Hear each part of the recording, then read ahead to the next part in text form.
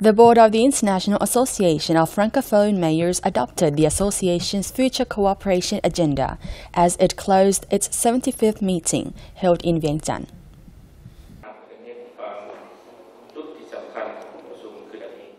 Speaking at the press conference, which was held shortly after the closing ceremony, Vientiane Vice Mayor Keophilavanh Aphaylath said three projects concerning the Lao capital proposed by the mayor of Vientiane, Soukanh Mahalath, were endorsed and included in the agenda, which will be submitted to the General Assembly of the association, formerly known as Association Internationale des Maires Francophones, or AIMF, for consideration and approval when it convenes in Paris in November.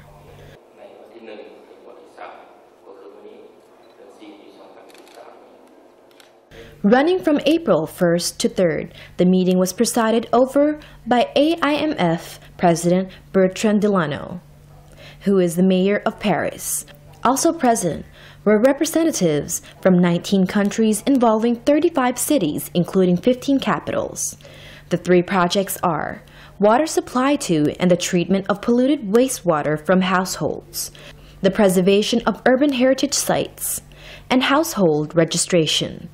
The meeting also adopted other projects proposed by the AIMF member countries. These include humanitarian assistance associated with risk management in Bangangté, Cameroon, and local level democracy in relation to devolution in St. Louis, Senegal. According to a press statement issued by the French embassy to Laos, the meeting announced that funding amounting to more than 10 billion kip, or 1 million euros, would be allocated to finance various projects. The press statement said the money will support projects involving urban development, particularly in regard to providing facilities in urban areas, as well as preserving and restoring heritage. La réunion de l'UE en 2007 avait pour objectif Also addressing the press conference, AIMF Permanent Secretary Pierre Baillet said the meeting had achieved its objectives. The meeting adopted a cooperation plan between the AIMF and ASEAN, as well as adopting the agenda of the General Assembly.